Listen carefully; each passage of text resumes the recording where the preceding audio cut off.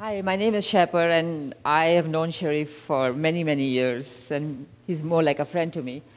Um, I invest in different places. I have my own business. I invest in commercial real estate, and I have a lot of residential properties.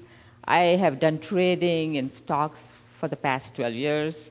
But Friday was an eye-opening experience for trading stocks because I did just straight, straight trading for stocks, nothing like options and puts. And now I'm going to start doing that.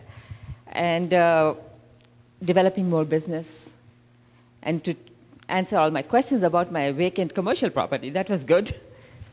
So hopefully I'll be able to do something with it. And I love coming to his seminars because it's very, very energetic and it brings me up again to do something more. Thank you.